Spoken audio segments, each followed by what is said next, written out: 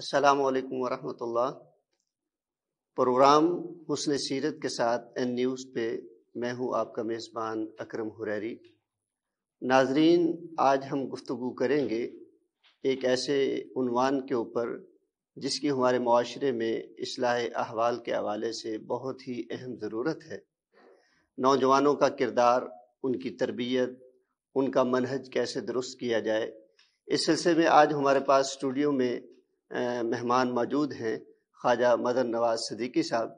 मैं उनको अपने प्रोग्राम में खुश आमदीद कहता हूँ। जी ख्वाजा साहब कैसे हैं जी? अस्सलाम वालेकुम सर। अकरम साहब मैं बहुत खुश हूँ और अल्लाह से मुतमिन हूँ और बहुत खुशगवार ज़िंदगी गुजार रहा हूँ। माशाल्लाह जी। अल्लाह रबुल्ज़त आपको खबरू रखे। हम आपकी सरगर्मियों को देखते रहते हैं इसलिए आज आपको स्टूडियो में जहमत दी। नौजवान हमारा असासा है। प्यारे पैगंबर सल्लल्लाहु अलैहि वसल्लम अरशाद फरमाते हैं कि नौजवान की ज़िंदगी, ये बड़ी कीमती ज़िंदगी है। अगर इसमें इबादत और रियादत करता है तो अल्लाह उसको अपने अर्श का साया नसीब फरमाते हैं। ये नौजवान ऐसा है कि वालदेन के लिए सदका जारिया भी बन सकता है। यही नौजवान है जो अपनी कौम की काया भी पलट सकता है।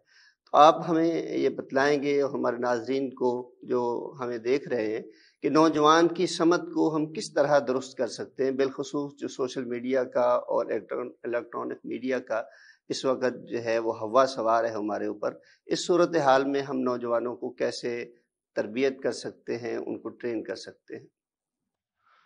देखें जो हमारा नौजवान है, हमारी जो कुल आबादी है, उसका साठ फ़ीसद है।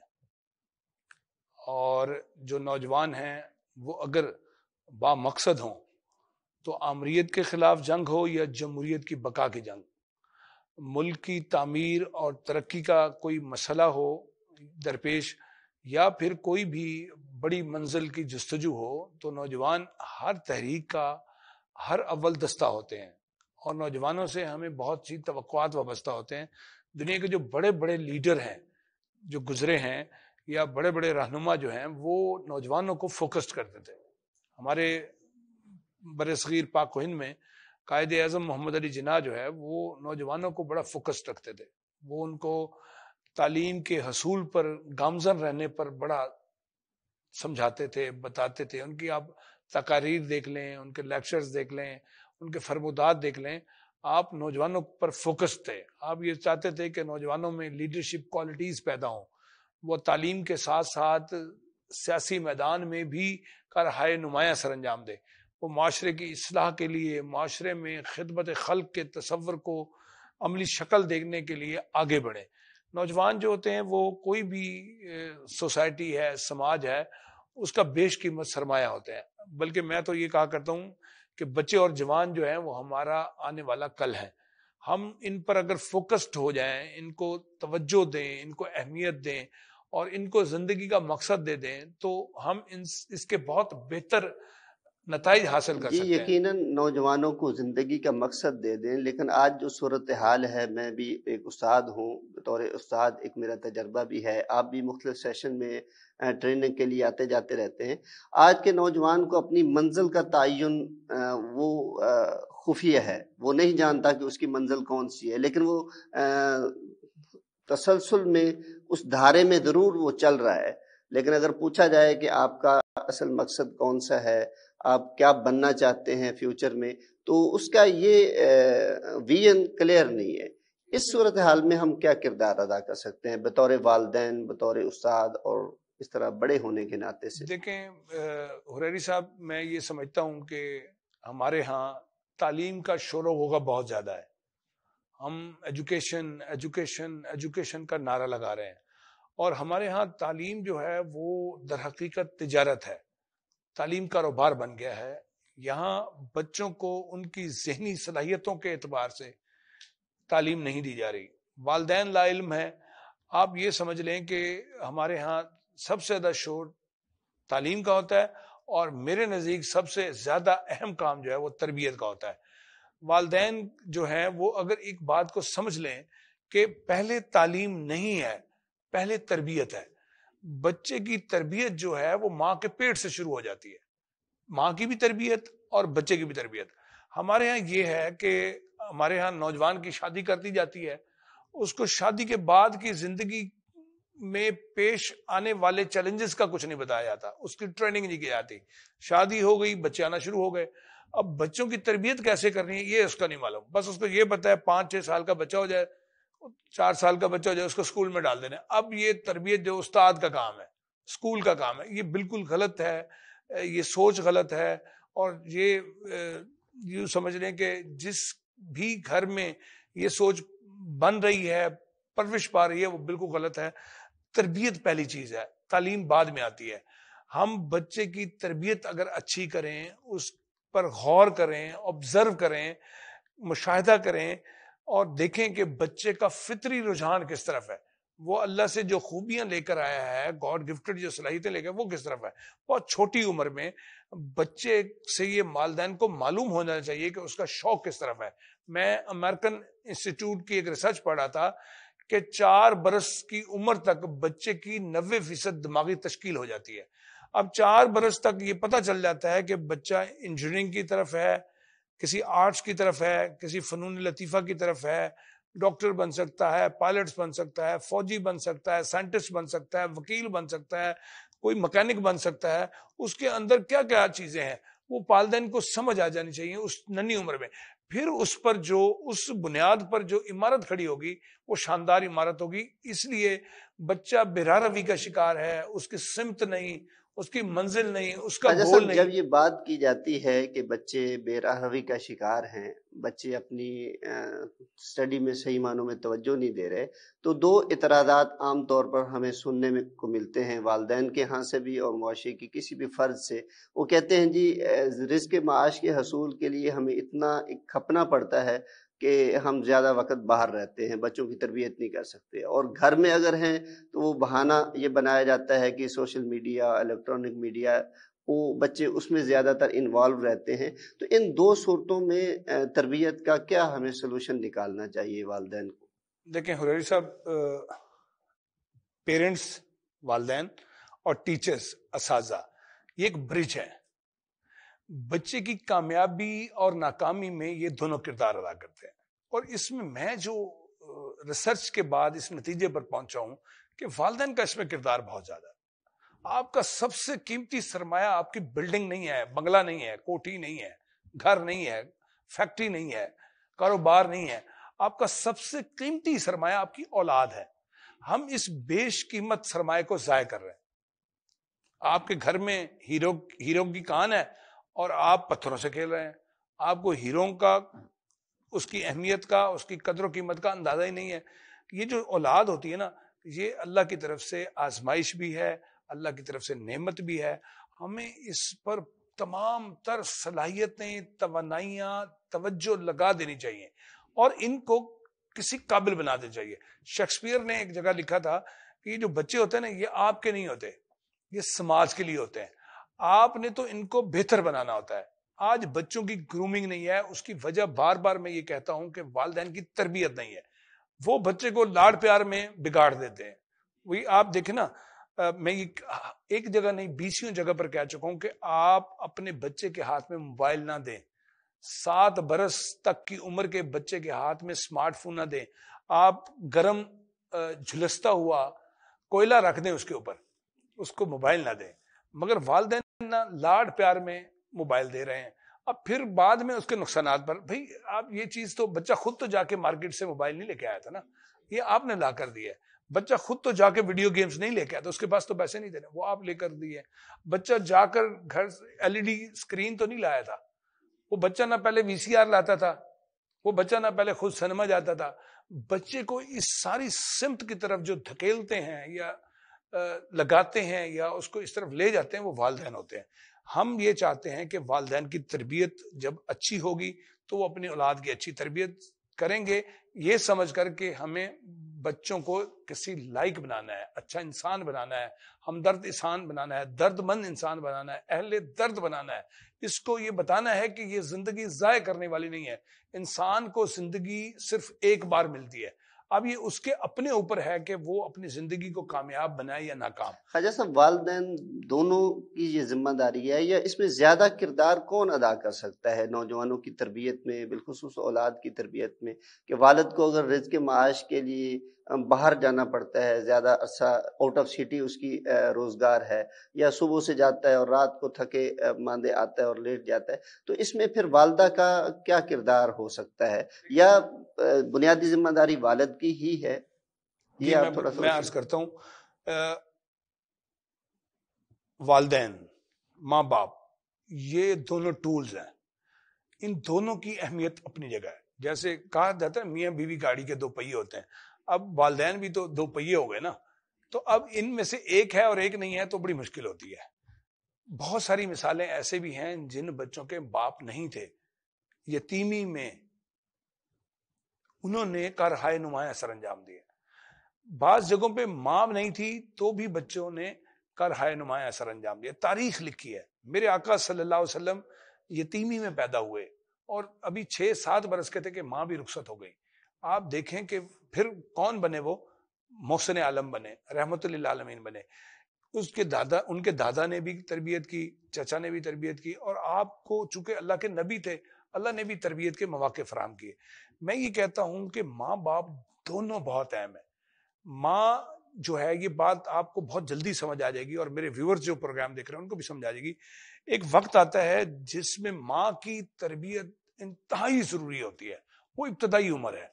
फिर एक वक्त आता है जब बच्चा बारह साल का होता है, तब उसको माँ की नहीं, बाप की ज़रूरत होती है। अच्छा आप जितने भी कॉन्फिडेंट बच्चे देखते हैं, जिनके अंदर बहुत एतमाद है जिनके अंदर बहुत सलाहियत है और वो रोज निखर रहे हैं, वो रोज बेहतर हो रहे हैं। तो आप उनके एतमाद की वजह ढूंढेंगे तो वो उनका अब्बा है। वो अब्बा उनको वक्त देता है, उनके पास बैठता है, उनकी सुनता है, उनकी दिन भर की कारगुजारी उनसे सुनता है। फिर वो उनको ज़िंदगी के अहम मकासद बताता है। पहले बच्चे की तरबियत में आपको ये बात भी, नई बात बताऊँगा। सिर्फ़ वालदेन का किरदार नहीं होता, नानी दादी का भी होता था। जो पहले बच्चे होते थे इंशाल्लाह गुफ्तगु का सिलसिला जारी रहेगा।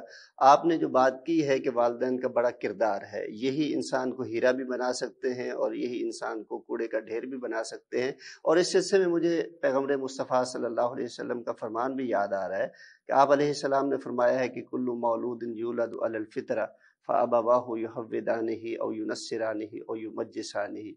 कि हर पैदा होने वाला बच्चा फितरत पर पैदा होता है, फिर उसका वालदेन है, उसका वालदेन का दिया हुआ माहौल है, जो बच्चे को यहूदी बना देता है, ईसाई बना देता है, या बेदीन बना देता है, या इसके अलावा जो वालदेन के शुगल होते हैं, उसी के मुताबिक औलाद ढल जाती है। नाजरीन, चलते हैं एक छोटी सी ब्रेक पे, हमारे साथ रहिएगा।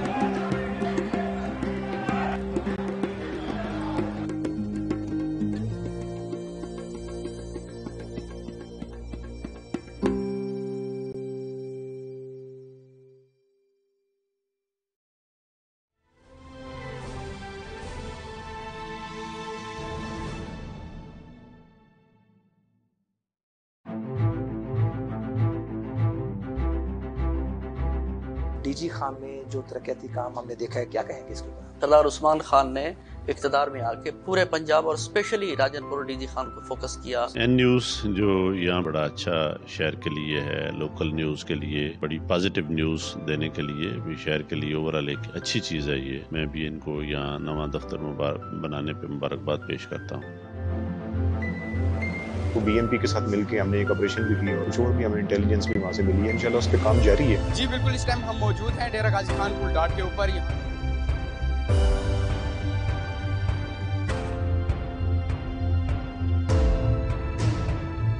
पेट्रोलिंग भी की जा रही है बैन सुबाई चेक पोस्ट हैं उनके ऊपर चेकिंग मजीद मुअसर की जा रही है। पीजी खान में फ़र्स्ट टाइम इतने बड़े बड़े प्रोजेक्ट्स दिए हैं कार्डियोलॉजी को विज़िट किया होगा हमारा मदर एंड चाइल्ड है।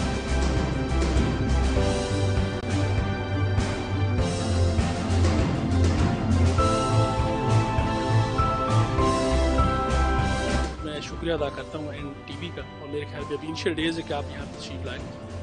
तो खुशी की बात। है मैं आपके इदारे एन न्यूज़ की बहुत शुक्रगुजार हूँ।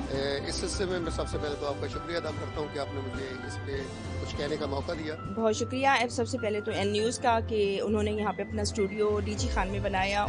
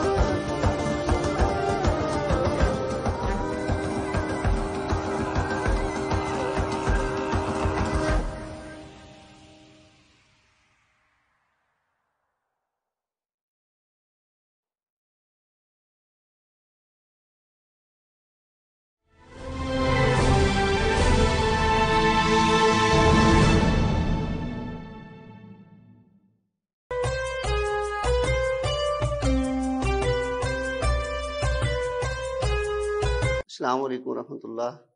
नादरीन हम गुफ्तु कर रहे थे कि नौजवानों की तरबियत किस तरह की जाए, उन्हें किस तरह संवारा जाए। तो बात हो रही थी इस सिलसिले में कि बुनियादी किरदार वालदेन का होता है और वालदेन के साथ अटैच फैमिली के दीगर मम्बरान हैं। और ये बात दुरुस्त है, जैसे कि ख्वाजा मदर नवाज़ सदीकी साहब हमें बतला रहे थे कि नानी और दादी का किरदार भी बहुत अहमियत का हमल होता है किसी भी शख्सियत के बनने और संवरने में। तो हम अपने मेहमान ही की तरफ़ जाएँगे और उनसे मज़ीद वजाहत चाहेंगे कि नानी और दादी का किरदार किस तरह होता था और आज के दौर में उसकी क्या कमी महसूस हो रही है। अक्रम हुरेरी साहब, मैं वक्फे से पहले बात कर रहा था कि पुराने वक्तों में कोई इतनी बड़ी पुरानी बात नहीं है। हमारा बचपन था कि हमारी नानी और दादी रात को सोते वक्त हमें बेड टाइम स्टोरी सुनाती थी। वो उनके हाथ में और ये रोज़ाना कहीं हाँ मामूल होता था कि अच्छा, बच्चे उनके हाथ सोने में का किताब होती थी वो हमें देखें बच्चा जो है ना वो नन्ही उम्र में ना बहुत इब्तदाई उम्र में जानवरों और परिंदों की कहानियाँ सुनता है। फिर एक वक्त आता है तो वो परियों की जिनों की भूतों की बादशाहों की शहजादों की मलका की शहजादी की कहानी सुनता है। फिर एक वक्त आता है वो तजस्सुस भरी वाकयात नावल की तरफ़ आ जाता है। वो अब हिम्मत की बहादुरी की जमा मर्दी की हाँ जी दलेरी की कहानी सुनता है। अब उसमें एडवेंचर आ जाता है। ये तीन एजेस हैं ये तीन फ़ेज़ है। इसमें दादी जो थी ना वो बच्चे को ना तारीख से मुतारफ करवाती थी। यहूदी जो हैं वो अपने इब्तदाई उम्र के बच्चों को जब वो पढ़ना लिखना समझ जाते हैं, तारीख की किताबें पढ़वाते हैं, फिर वो अपने बच्चों को बड़े लोगों की ऑटोबायोग्राफी पढ़ाते हैं, फिर वो अपने बच्चों को शायरी पढ़ाते हैं, फिर उसके बाद मौसीकी पढ़ाते हैं। वो बच्चा घर को यूनिवर्सिटी समझकर सब कुछ पढ़ता है। हम बिल्कुल अपने बच्चों को वक्त नहीं देते। पुराने वक्तों में नानी, दादी बड़े बड़े बुज़ुर्गों के बड़े बड़े उलमा के बड़े बड़े औलिया के और बड़े बड़े तो अंबिया कम के। कम बच्चों को ये याद हो जाता था कि मेरी पाँच नस्लें पीछे हमारे दादाजी का नाम क्या था एग्जैक्ट बिल्कुल। दादी का नाम अच्छा वो ना उसको कुरानी किस्से से लेके तारीखी वाकयात तक बनी इसराइल के वाकयात तक कुरान के किस्से और फिर औलिया के किस्से और फिर अपनी ये बड़े सगीर पाको हिंद की जो तारीख है उसके किस्से सुनाती थी। बच्चे का घर में ही बड़ी हस्तियों से तारुफ हो जाता था। फिर वो बच्चे को चंद बुनियादी बातें सिखाती थी कि खाना खाने से पहले हाथ धोना है और दाएँ हाथ से पानी पीना है, तीन सांसों में पानी पीना है और वॉशरूम जाना है तो दाया बाया पाँव अंदर रखना है, बाहर आना है तो दाया पाँव रखना है और यानी कि ये आदाब जो अखलाकियात हैं जिसको आप एथिक्स कहते हैं, वो घर में ही तरबियत दी हमने ज़िंदगी के आदाब बच्चे को सिखाने बंद किए, बच्चे के साथ हमारा उठना, बैठना, मजलिसें खत्म हो गई, हमने स्कूल के हवाले कर दिया हमने महीने में एक दफ़ा बड़े होटल में खाना खिला दिया, बड़े स्कूल की फ़ीस अदा कर दी को पार्टी की फ़ीस अदा कर दी और बड़े घर में बड़ी बड़ी सहूलतें दे दी। हम समझते हैं कि ये काफ़ी है ऐसा नहीं है। बहुत सारे घर ऐसे हैं जिनके बच्चे मुझे क्लासरूम में बताते हैं कि हम सो जाते हैं, अब्बू घर में आते हैं और जब हम सुबह स्कूल आते हैं, अब्बू सोए हुए होते हैं। तो बच्चे अपने बाप को सोया हुआ ही पाते हैं। तो वो कैसे बच्चे एतमाद में आएँगे बच्चे कैसे आगे बढ़ेंगे, बच्चों का वियन कैसे बढ़ेगा, उन्हें गोल कौन बताएगा, उन्हें राह हयात कौन बताएगा, उनके मकसद हयात कौन बताएगा। तो बात यह है कि हमें वालदेन को चाहिए, वो बच्चों के साथ इंटरेक्ट करें। मैं ऐसी हज़ारों खातन को जानता हूँ, जिनके यहाँ जब बच्चों की विलादत हुई, उन्होंने बड़े बड़े ग्रेड की जॉब छोड़ दी, कि अब हमारी ज़िंदगी का मकसद इन बच्चों को अच्छा कामयाब इंसान बनाना है इनको एक बामकसद इंसान बनाना है। तो हमारे मुल्क के मारूफ ट्रेनर हैं इस वक्त यूथ क्लब के हवाले से। उनकी वालदा एक मरतबा किसी इंटरव्यू में बैठी थी मैं देख रहा था तो कहने लगी कि बच्चा था जब बड़ा होने लगा तो मैंने कहा था कि मैं शादी अब नहीं करूँगी। पहले खामन से अलहदगी हो चुकी थी या फौत हो गए थे इस बारे में मुझे इल्म नहीं है। तो वो कहते हैं जब ये बच्चा दस साल में पहुँचा ना तो मुझे महसूस हुआ कि अब एक मर्द की ज़रूरत है इसको संभालने के लिए। मैंने किया अभी तो उसके लिए जो है वो फिर मैंने अपने बच्चे की खातर ये स्टेप लिया और मैंने जो है वो शादी की। क्योंकि दोनों का किरदार जब मिलता है तो वो एक इंसान बनता है और आज हम उसको देखते हैं कि वो बहुत बड़े माशाल्लाह ट्रेनर हैं मुख्तलिफ़ इदारों में एजुकेशन और इस तरह यूनिवर्सिटियों में जाके लोगों को ट्रेन कर रहे होते हैं। तो यकीनन वालदेन का एक बहुत बड़ा किरदार है वालिद को अपना किरदार निभाना चाहिए का भी, वालदा का भी नानी दादी का भी। खाजा साहब एक बड़ी जो इस वक्त सूरत हाल पैदा हो रही है वो ये है कि बच्चा अभी छोटा है दो ढाई साल का है तीन साल का है वो कुछ जुमले सुनता है अपने हम बच्चों से या गली से बाहर निकलता है दुकान पे जाता है तो वो जुमले को नासमझी होती है वो दोहराना शुरू कर देता है। वो नाजेबा अल्फाज भी होते हैं बाद वो अपने वालदेन को उसी तरह मुखातब कर रहा होता है। तो बिलखसूस बच्चा जब ये ढाई तीन साल का बोलना सीख रहा होता है उस वक्त के लिए कोई ऐसे टूल्स जो है वो नाजरीन को बताएँ कि कौन से होने चाहिए? सर ये जो आप सवाल कर रहे हैं ये बहुत बड़ा सवाल है। हाँ सवाल के अंदर बहुत बड़ा जवाब भी बनता है। ये जो टीवी प्रोग्राम होते हैं ये मुख्तसर दौरानी के होते हैं इसमें पूरी बात तफसील से नहीं बजाया मैं उसी तरफ़ लेके मैं आपको बताना चाहता हूँ कि ये सवाल खुद एक प्रोग्राम है। जी जी बिल्कुल। बच्चे जो है ना वो आप ये समझते हैं कि कानों से सुनते हैं। मैं ये कहता हूँ जो नौजायदा बच्चे होते हैं वो आँखों से सुनते हैं। वो जो देख रहे बच्चे ना नकाल होते हैं। वो जो देखते हैं ना वो करते हैं। मैं एक और इसमें इजाफा करता हूँ। मेरी ये बात बहुत मशहूर है। मेरे नाम से लोग कहते हैं कि ख्वाजा साहब कहते होते हैं कि बच्चे जो है ना वो तोते हैं। आप जो टैटें करते हैं ना, वो वही टैटें वही करते हैं। वो रट लेते हैं। दूसरी बात मैं कहा करता हूँ, बच्चे बंदर हैं। बंदर भी नकाल होता है। वो जो आपको करते देखते ना, वही करके दिखाता है। तो इन तोतों को, इन बंदरों को ना आपने अच्छा दिखाना है। इनको मैं ये देखें कि जो वालदेन घर में लड़ाई, फसाद, बर्पा किए रखते हैं, हर वक्त जंग का माहौल, उनके बच्चे जहनी तौर पर कमज़ोर होते हैं। और उनके बच्चे बाहर क्लासरूम में लड़ते हैं, ग्राउंड में लड़ते हैं, गली में लड़ते हैं। दोस्तों के बीच में लड़ते हैं। फिर वही गाली गलौज जो वो घर से सीखते हैं, वही अपने दोस्तों को कहते हैं। तो वो बच्चे जो हैं, वो बहुत सारी जहनी कमज़ोरी वाले फ़ेज़ में दाखिल हो जाते हैं, जहाँ वो डिप्रेशन का शिकार हो जाते हैं, जहाँ वो मायूस हो जाते हैं ना उम्मीद हो जाते हैं। घर का माहौल जो है ना, वो बहुत काउंट करता है। और फिर आप जब घर की दहलीज से बाहर कदम रखते हैं तो फिर गली का माहौल। मैं तो ये कहा करता हूँ कि नन्हे बच्चों को गली में क्या काम? उनको घर में एंटरटेनमेंट की हर चीज़ है। मैं तो बल्कि लोगों को कहा करता हूँ, आप बिस्किट कैंडीज चॉकलेट ये छोटी छोटी चीज़ें लेस वगैरह कि आप घर में ही रखा करें। बल्कि इसके लिए मैंने एक बड़ा खूबसूरत तरीका अख्तियार किया हुआ है कि मैं अपनी वालदा को, यानी अपने बच्चों की दादी को चीज़ें ला के देता हूँ और बीवी को कह रखा है कि इनको बीस रुपए, तीस रुपए, पचास रुपए दिए करो दादी से चीज़ लेके आए।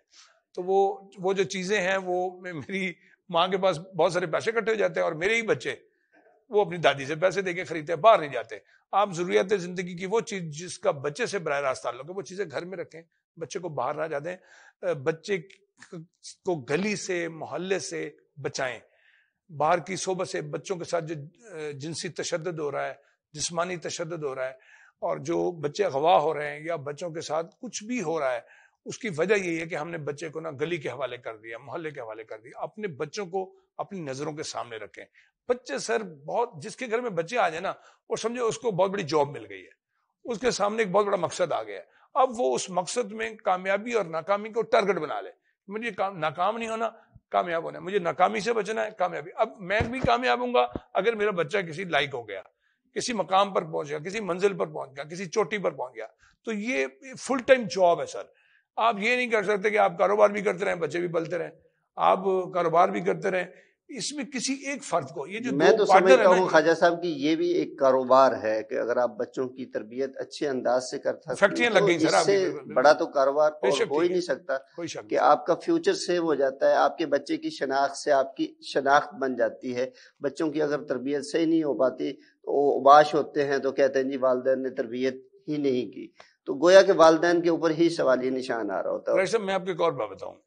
मैं ये बात अपने जाती तजर्बे और मुशाहे की बिना पर बता रहा हूँ कि आप अपने बच्चे को बड़ा आदमी बनाना चाहते हैं ना तो पहले कोशिश करें आपका बच्चा अच्छा इंसान बने। अच्छा इंसान बनने के लिए हमारी जो रसूलुल्लाह वसल्लम की हस्ती है, वो एक बेहतरीन नमूना है। वो एक काबिल कदर नमूना है। आप उनकी सीरत को पढ़ें और उसके मुताबिक अपने बच्चे की तरबियत करें। आप उसको सच्चाई पे ले आए, अमानत में ले आए दयानतदारी पर ले आए फर्शनासी पर ले आए, उसको कम्युनिकेशन की तरफ़ बात करने का तरीका सिखाएँ, बोलने का तरीका सिखाएँ, अल्फाज और लहजे का तरीका सिखाएँ, उसके अंदर लीडरशिप स्किल ले आए, उसको छोटे मोटे घर में कामों में उसको टास्क दें, ये करो, वो करो। आप उसको कहें, रात को बैठ के मुझे सबक सुनाओ, जो सारा दिन पढ़ा है, वो मदरसे में पढ़ा है अकेडमी में पढ़ा है स्कूल में पढ़ा है तो यकीन करें कि आपको बच्चे बहुत अच्छा रिज़ल्ट देंगे। और जब आपके बच्चे आपको अच्छा रिज़ल्ट देंगे तो आप दुनिया में भी कामयाब होंगे और आप आखिर जी जी यकीन ऐसी ही बात है। अल्लाह रबुल्ज़त हमें सही मानों में तौफीक दे कि हम बच्चों को बना संवार सकें। कुरान करीम जो अरशाद फरमाता है कि अलमाल वलबनून दीनतुलहयात दुनिया। ये दुनिया की बेहतरीन जीनत है तो मैं समझता हूँ कि जीनत वही है जो इंसान के परतव में एक अच्छी तरबियत नज़र आए। अगर अच्छी तरबियत नहीं है तो वो दुनिया के लिए, वालदेन के लिए जीनत नहीं बन सकती इस दुनिया में। तो यकीनन अच्छी तरबियत होगी तो हमारे लिए जीनत बनेगी।